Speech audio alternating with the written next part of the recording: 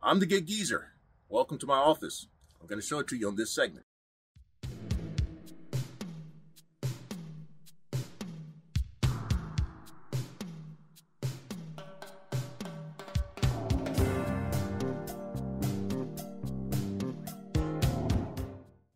If this is your first time checking out the Gig Geezer, if you're a returning visitor of the Gig Geezer, thanks for coming by. And if you would not mind, hit that subscribe button, give my content a thumbs up, share my content among others, and I definitely welcome your comments in the section below. So what I'm going to do is something that I've not done before, and that's really show my workspace, which is this Ford Transit 250 van. Um, the secondary workspace would be my F-150 um, that's parked uh, in the Geezer driveway. But so what I'm going to do is uh, actually share with you some of the things that I think that may be um, may be some must-haves when you're considering doing uh, delivery and transport work. Now I've got some things arranged out here so uh, for better demonstration purposes. But um, if I were to go down the list, um, it's in no specific order.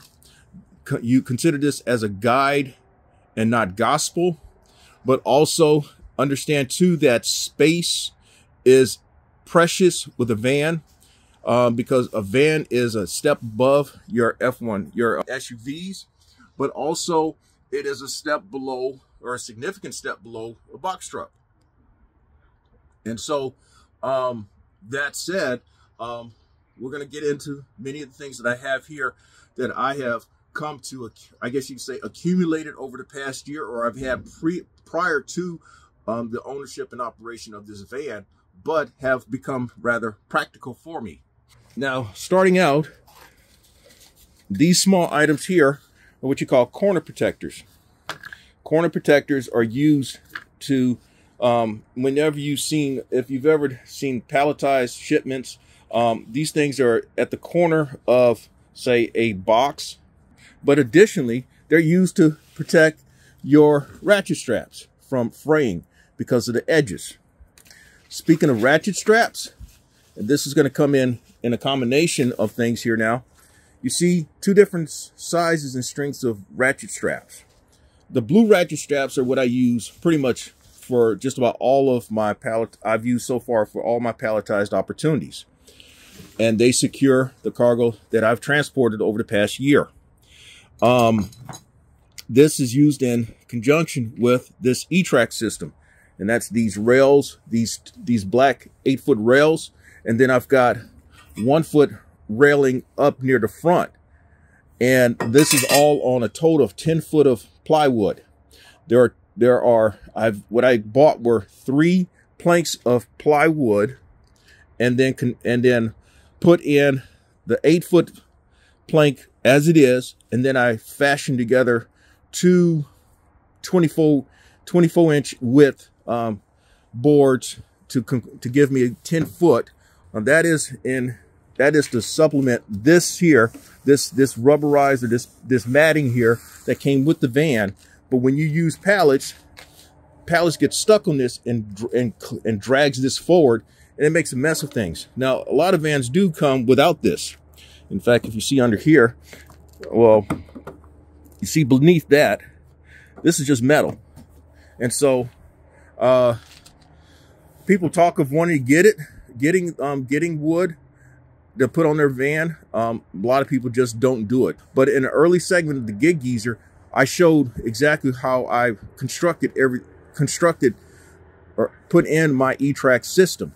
Now, the main thing for me were these had I had to screw I had to um, drill I drilled them into this um, board, and then also I used um, again two two um, planks of wood at each juncture. So I, again, I bought three, three four by eight planks of wood.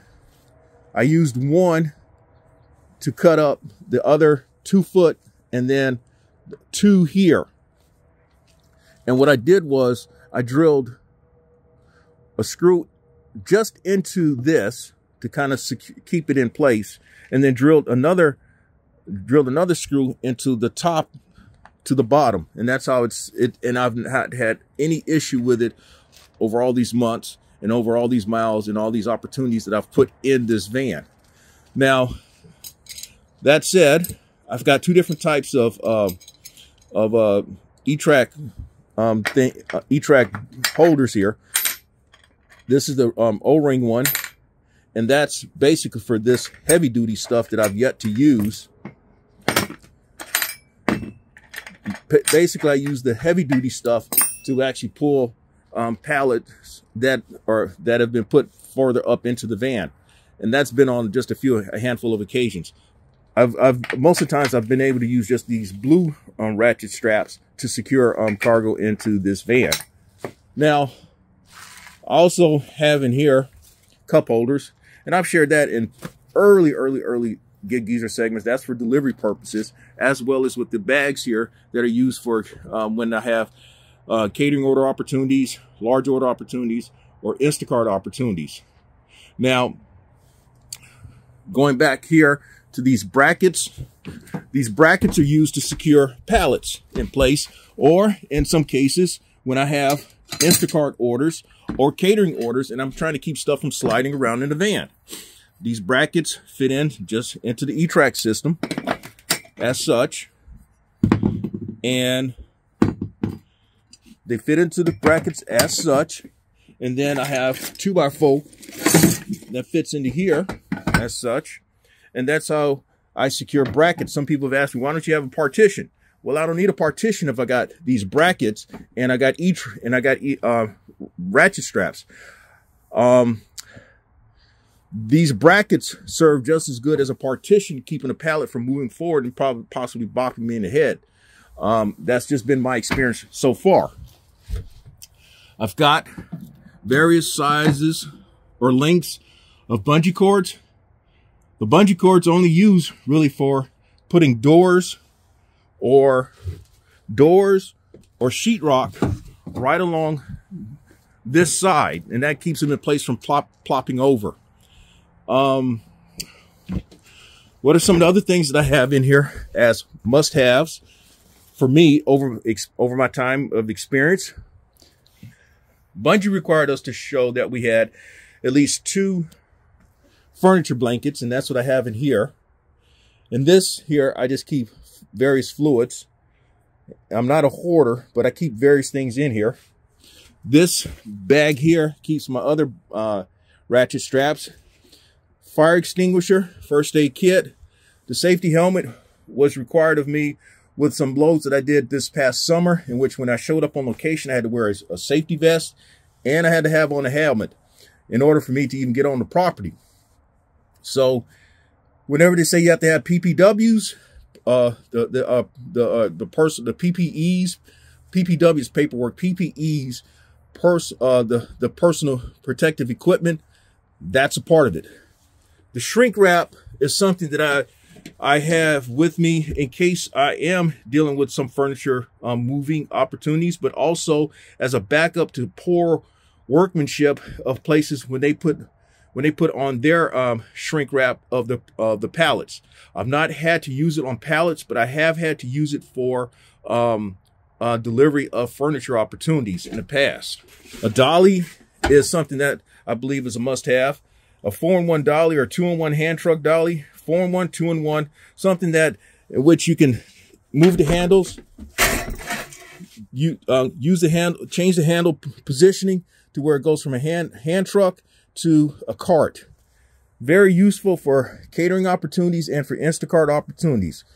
And um, it looks good when you come in there with something like this. The wheels are quiet. It's not rattling all over the place. I started out one with a, that was a 36 by 24 and uh, graduated up to this one. I've spoken of these in the past. In re I've spoken of these in a recent segment of the Gig Geezer where I bought a second hydraulic jack. The hydraulic jacks are a time saver when you have to put put your um, vehicle up so that you can change tires or get up under there to work on your vehicle. Um, they're heavy, but they're a time saver. Um, I've got, I bought a second one when I showed in this segment the Gig Geezer where I had, where I bought two new tires recently.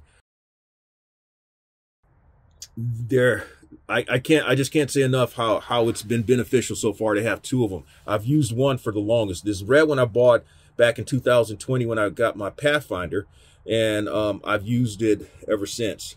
Um, this one again, the gray one I bought a few weeks ago, and again it's been a time saver. What are some other must-haves? Tools. Now, not everybody is mechanically inclined, but one thing that I've shown in a past Gig Geezer segment from um, 2022 is a tire repair kit, tire plug kit. Invaluable. Invaluable. Tire plug kit save you time and money if that's something you're able to do. This is actually what you detect, um, what you detect studs in a wall. But I've got various tools with me in this bag. This bag, by the way, is actually a, bag that you carry your, is used for bowling, where you put your shoes in this and then you put your, your tape and other um, items in here. But I've got two more of these bags in the Geezer compound. And so those are, those actually got bowling shoes in those. But moving on, tools are, tools, you having you you being able to um, address certain things like oil changes and certain repairs is and a, and a time saver and money saver if you have them. That's where these um that's where this other postal tray comes in because there's some tools off in there.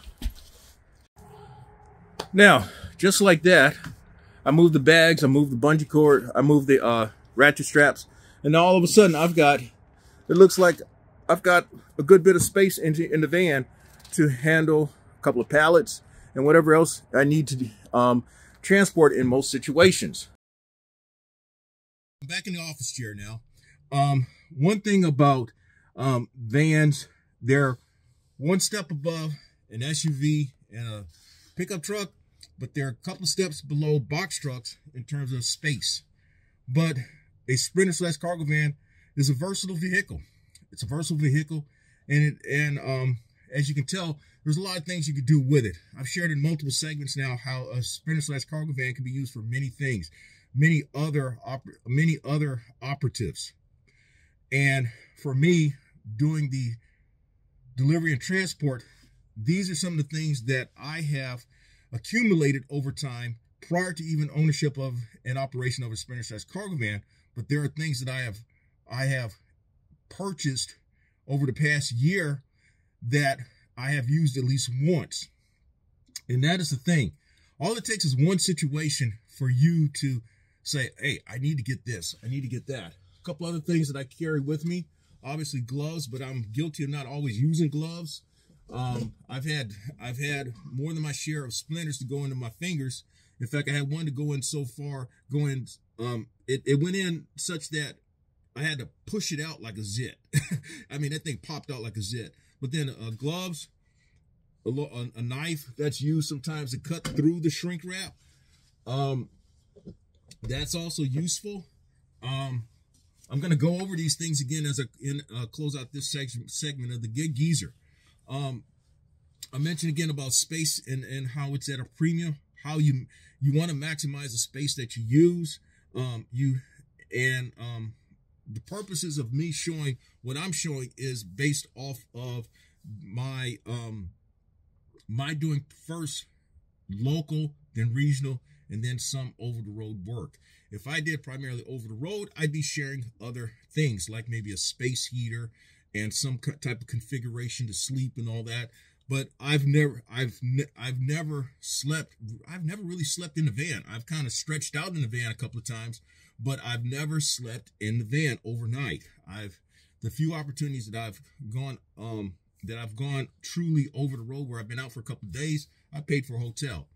So again, what I've what I've shared with you, what I've showed in my office space is really a guide and not gospel of the things that you should um, equip your van with uh, for whatever for whatever your personal operation or operative is. Um, a couple of items that I don't have, but I'm also going to mention that I know of drivers having in their van is a ramp. Uh, CJ showed him showed having a, a, ramp for his van, and Furniture Dolly. A couple of guys, St. Mike 504, CJ, and a guy I know here in the Columbia, a couple of guys I know here in the Columbia, South Carolina metropolitan area. They have Furniture Dollies. I've yet to get one. I should get one, but I've yet to do it. Now, again, a, a, wrap up of some of the things that I've shared, at least that I use as a part of um, that have helped, that, as a wrap up of some of the things that I have used or I keep in my van for the purpose of delivery and transport. A, a, a multi-purpose dolly, one that is a, used as a hand truck and as a cart, a hydraulic jack for the purpose of putting the van up so that I can change tires and get up under the hood for whatever I need to do. Obviously, you need a spare tire, um, tire plug kit, um, various tools, a broom that I didn't show, but I can, you know, obviously you want to try to keep your, your space clean, bungee cords of various lengths, and again, some may disagree on this though, but um, but I use them basically just to keep doors, sheetrock, and TV sets in place. That's it. Knife, gloves, fire extinguisher. I didn't show it though, but I have emergency triangles, um, moving blankets, shrink wrap. So that's all I have to share in this segment of Gig Geezer. Thanks for stopping by my office. If you like the content that's been provided in this segment of Gig Geezer and any other segment of Gig Geezer, hit that subscribe button, give my content a thumbs up, share my content among others, and I definitely welcome your comments in the section below. I'm Inwood Lane, and as always, may your grind and may your hustle continue.